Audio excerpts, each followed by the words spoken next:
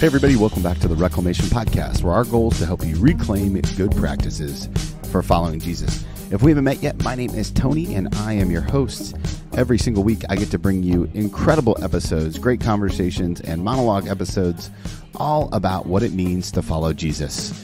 We believe that through intentional dialogue, we can help you move closer to Christ.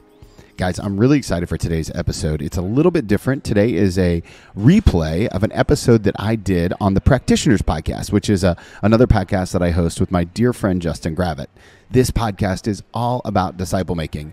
And I got to thinking that some of you might be ready to take that next step in the disciple making process. So, Justin and I talk about seven habits of a highly defective disciple maker. And I think you're going to really enjoy this if you're further along on your faith. If you do enjoy it, do me a favor hit that subscribe button wherever you listen to podcasts, leave a rating and review on iTunes or Spotify, and share this episode with a friend. Also, if you haven't done it yet, go ahead and subscribe to the Practitioners Podcast. We're going to have new episodes coming out in September. And so this is a teaser. This is kind of what you can expect. It's the two of us doing our thing for you, talking about disciple making. So now, without any further ado, here's a replay of my conversation with Justin Gravitt on the Practitioners Podcast. Good morning, Justin.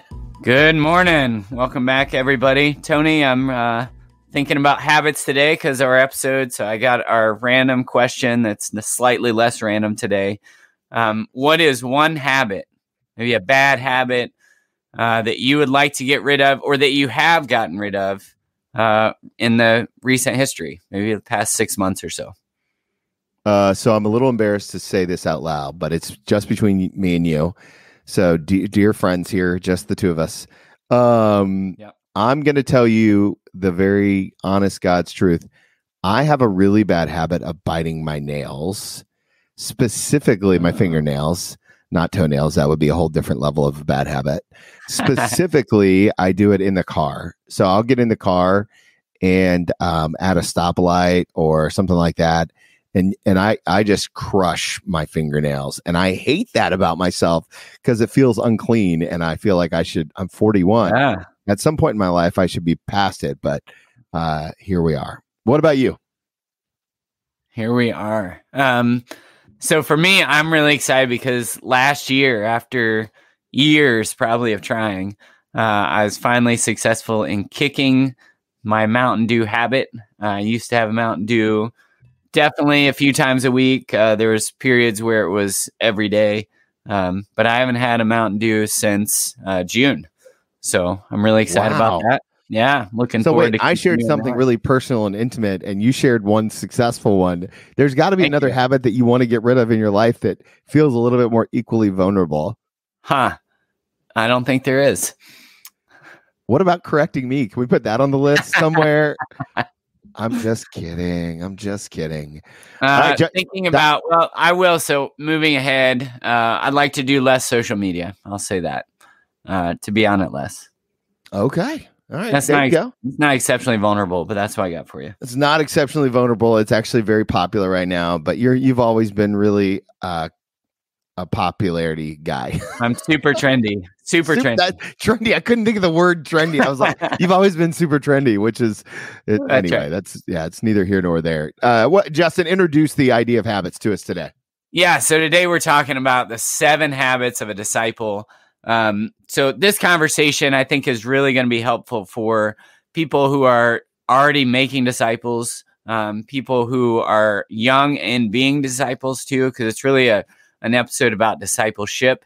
Um, but before we even get into that, we got to talk about habits, right? Habits are super important because they automate our life and they are kind of the mm-hmm. grooves of the tracks that our train runs in as we move through our lives together. And so, if we can spend the time and effort that we need to put in to develop habits that are helpful, uh, it really just moves us ahead in those areas of our lives that where we're trying to be intentional. And so the habits that we're going to be talking about today are seven habits of a disciple that will help you grow and mature into not only a mature disciple, but also to a mature disciple maker. Well, and you know what's interesting is we're going to talk about seven, but the truth is, is that any habit that you decide to own and pick up will drastically change your life if you commit to it. And, and, so habits are really a blessing because what they do is they prevent you from checking out of um, of relationships. They prevent you from checking out of routines. One of the things I tell couples all the time is that most people don't fall in and out of love, they fall in and out of commitment. And it's not commitment to the relationship. Obviously, that's the bigger picture, but it's typically commitment to the habits or the disciplines of the relationship. So when couples break up, it's not because one day they woke up and they're like, "Man, I'm mad at my wife. I'm going to break up." No, what ends up happening is is we end up um, kind of separating our lives over the years because we've given up the good habits of a healthy relationship. And so when we talk about discipleship, what we're talking about are the helpful habits, these seven uh, traits, seven basic habits.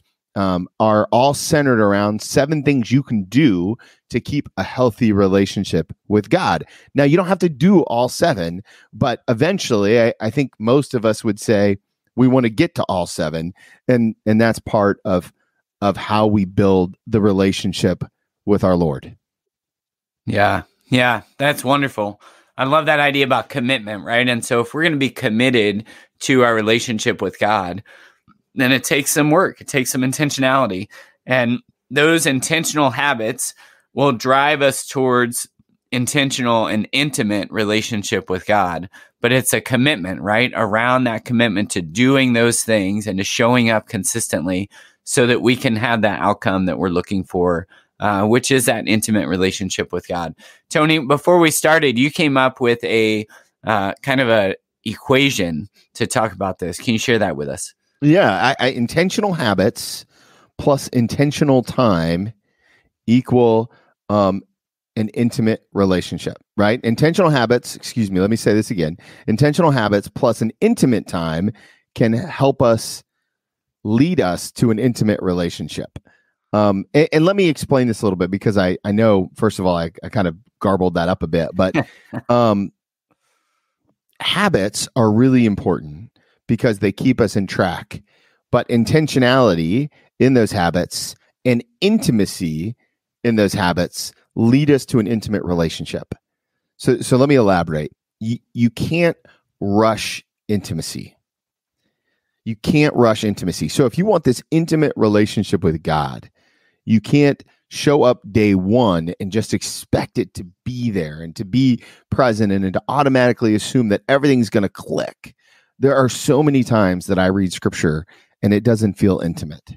But then on occasion when I'm intentional in my habit and I created some intimate time, there's this intimate part of our relationship where I feel like I see God in a whole different level and I let God see me.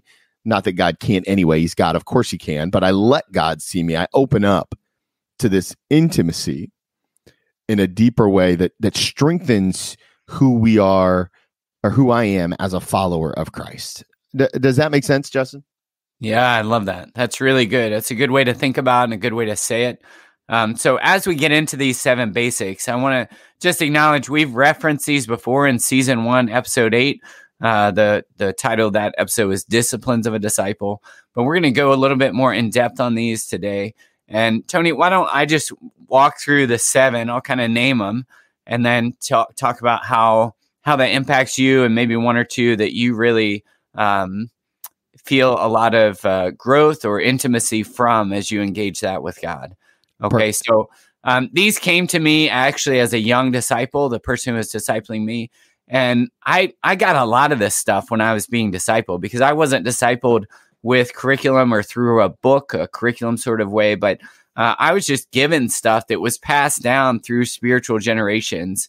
And you know, fortunately for me, I have some some heavy hitters in my spiritual lineage, such as uh, Leroy Eims, Dawson Trotman, and so again, I don't know that these came from him, but they very well could have come from one or both of those guys. Um, so the first one, it's always first, is assurance of salvation or the gospel, right? Another way to label that is the gospel.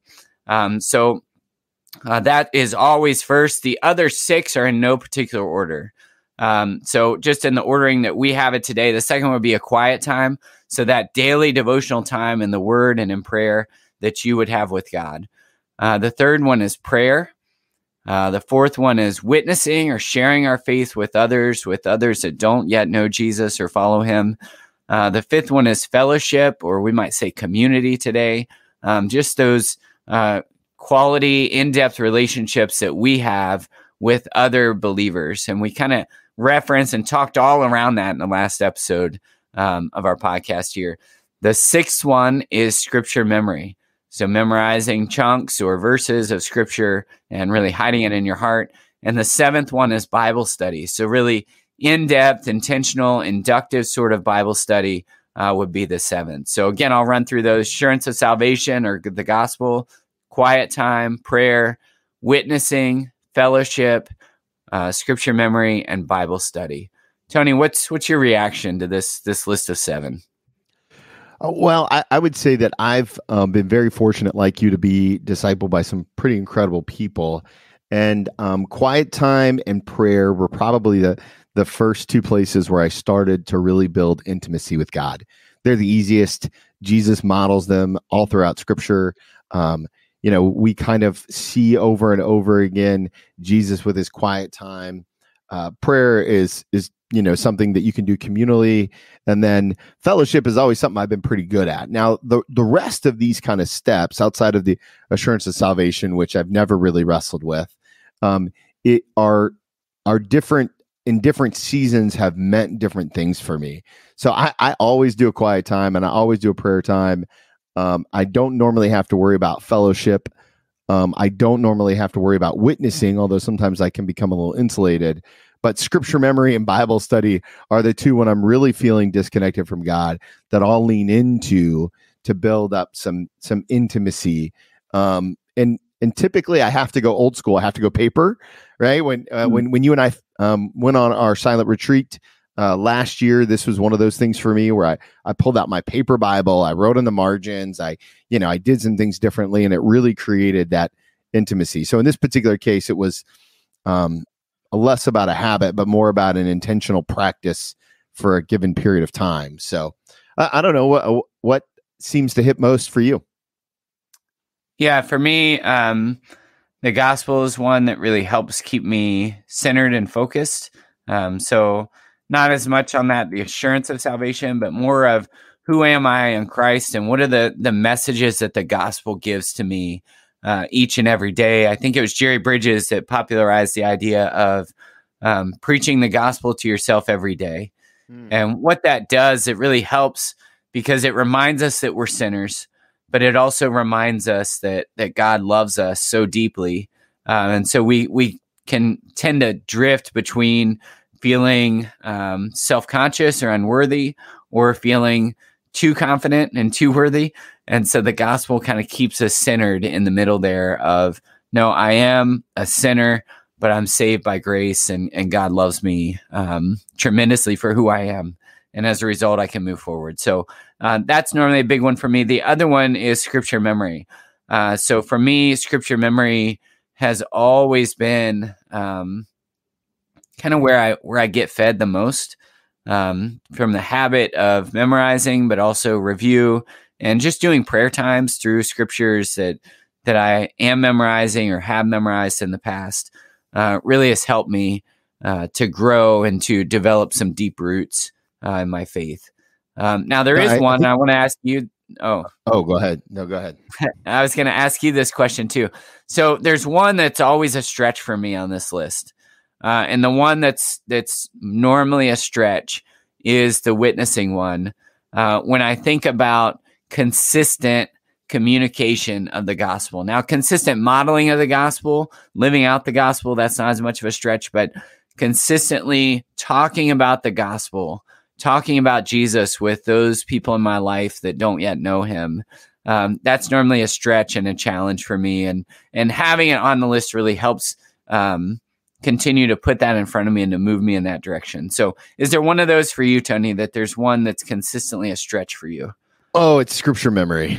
It's scripture memory every day of the week and twice when you ask me about it in our meetings. uh-huh. uh, and you know, it's it's not the idea of scripture memory is always really great, and I don't have any problems with the idea of it. Um, but I do have not always been great about putting that practice into my life on a regular basis. Because if you're going to do scripture memory well, it requires kind of a uh, the same way that you would do prayer well. It, it requires a um, kind of a pray without ceasing, memorizing without ceasing kind of mentality, right? You've got to continually pick it up and, and flex that muscle, like going to the gym. It's got to be one of those habits that fills in the cracks of our day that, or maybe there's some dead time or something like that. And that's, um, you know, that that's always been a little bit of a difficult time for me. Um, but you know, it, it's a growing edge and, and I'm always, yeah, there are a lot of relationships that I'm in where there are spaces in that relationship that I struggle with. And, uh, I just consider it a privilege that this is one in, in my relationship with God. Yeah. Yeah. Well, thanks for sharing that. Um, so if you're if you're listening to this and you're discipling somebody, especially a younger believer, um, these are things that you can move through, and you can move through these topics with people um, at varying levels of depth, right? So you could talk about prayer at a 101 sort of level, but you could have prayer 201, 301, 401 graduate school level in terms of talking about what is prayer, how does it work, what are we doing, and in discipling, we have to remember that our goal is not education, it's transformation. And so just because you've covered something or talked about it, if it's not showing up yet in that person's life, if they're not being obedient to the scriptures in that area, then you know there's more there. There's more meat on that bone that you need to go back to as a disciple maker and continue to help them with that. And so um, this is a really helpful list as you think about well what could i do with the person i'm discipling? What are the things that they might need help with? Now tony you said earlier that intentional habits plus intentional time can help lead us to an intentional relationship so I totally agree with that. I love that how how you've communicated about that. Um, is is there a way that we can be engaging in these habits and not have intimacy developing? Yes, yes. I, I think when we create um, the the intentional time without the intimacy, what ends up happening is we're just checking the block off. You know what I mean? We're we're checking out. So uh, one of the things that I'm really passionate about, and I'm going to get on my soapbox a little bit, is that we have to create these disciplines, these habits, with the mindset of intimacy. Into me, see right into me, see into my heart. So God really cares about the posture of your heart, right? And, and we see that in the way that Jesus preached. We see that in the way that Jesus did life with people. He wanted to transform someone's heart. So if you're doing a quiet time and you're like, hey, I'm going to take 15 minutes and do a quiet time, and you read through your devotional, you read through your chapter, whatever you're reading, and you don't ask the Holy Spirit to be in your heart, if you don't invite the Holy Spirit in, if you don't intentionally like surrender some of these things, then you don't have it right? You don't have that intimacy. Same thing with scripture memory. You can have the entire Bible memorized, but if you're not asking God for those words to penetrate your heart, uh, you know, what's First Corinthians 13 tell us? Or just the, the clanging of a cymbal or a rusty gate.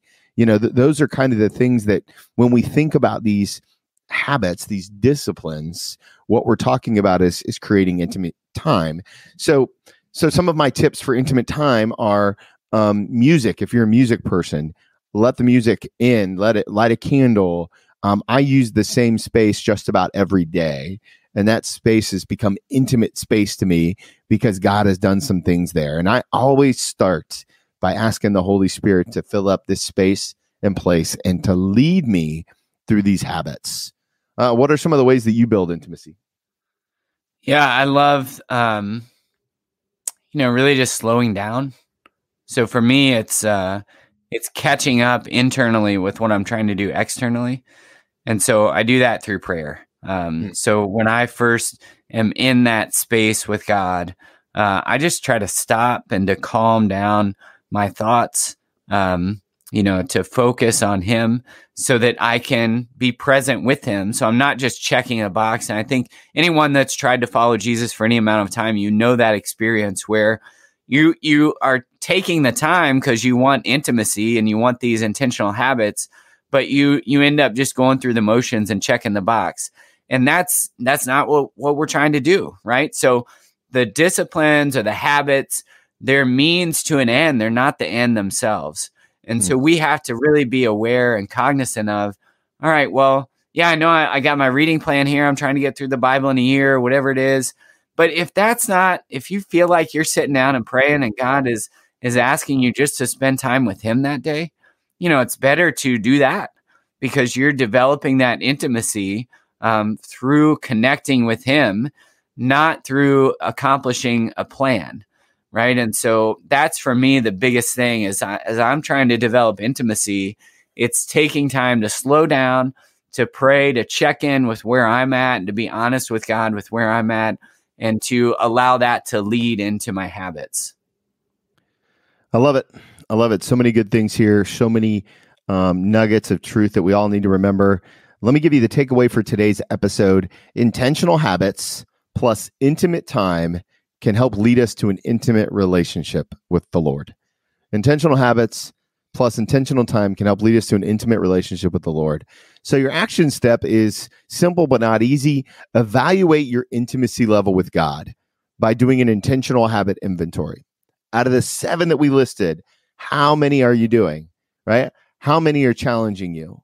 Or are you just going through the motions? No judgment either way, but is there a way that intentional habits plus intimate time can help build your intimate relationship with God? As always, we're incredibly thankful that you gave us your time today.